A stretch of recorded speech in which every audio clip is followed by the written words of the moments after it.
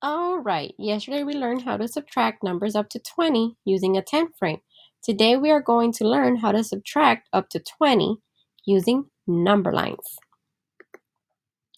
Remember what it means to subtract? Subtract means to take away.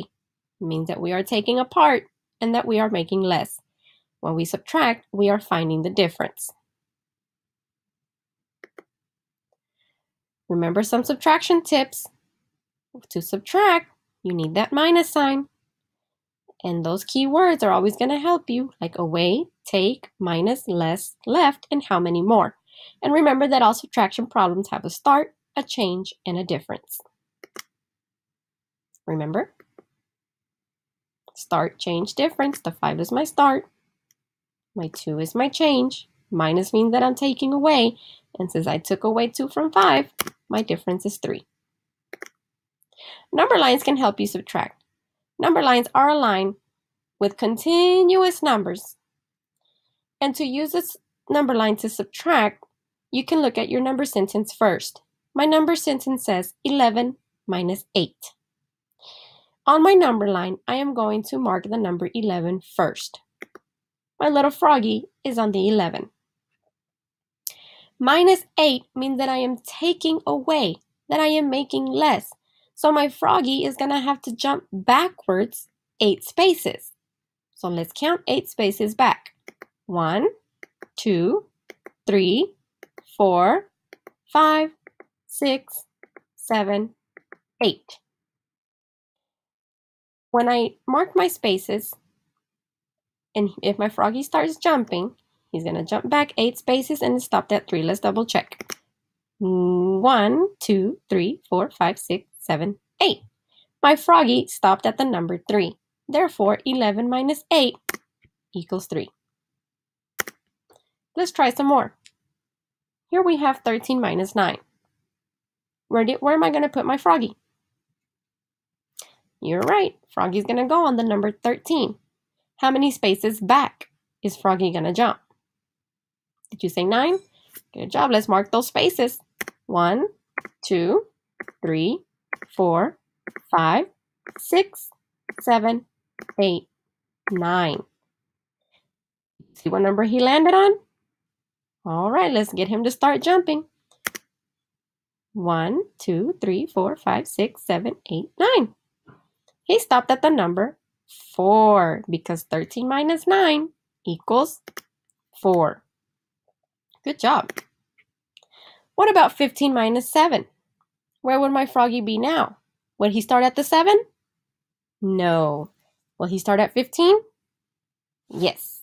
He would start at the number 15. How many spaces back is he going to jump?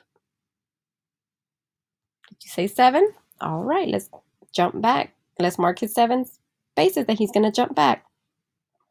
One, two, three, four, five, six, seven. Let's get him to jump. One, two, three, four, five, six, seven. Where did he stop? Good. So when Froggy jumped back seven spaces, 15 minus 7 equals 8. Excellent. What about 12 minus 7? Where is my Froggy going to start? Yes, he's going to start at the number 12. How many spaces back do we need to mark for him to jump? Did you say seven? All right, let's try that. One, two, three, four, five. The number seven is right there. Is that where I stop? No, because I've only jumped back five spaces. Remember, we have to jump back seven. So we keep going. Six, seven. Now that's seven spaces. 12 minus seven. Where, he, where is he going to stop? Let's get him to go. One, two, three, four, five, six, seven. 12 minus 7 equals 5. You got it. This one might have a little surprise for you. 17 minus 8. Where am I going to start? Good. There I am. I'm at the number 17. Can you see me? Good. How many spaces back is Ms. Vargas going to jump? Did you say eight? All right, let's get to counting. One, two, three, four, five, six, seven, eight. Where's Ms. Vargas gonna go? Let's see. One, two, three, four, five, six, seven, eight. Where did Ms. Vargas stop? She stopped at the number 9 because 17 minus 8 equals 9. Good job. So give it a try. Look at the number sentences I have given you for today. Solve the subtraction problems and make sure to show your strategy of the number line. And you can also review drawing pictures to subtract.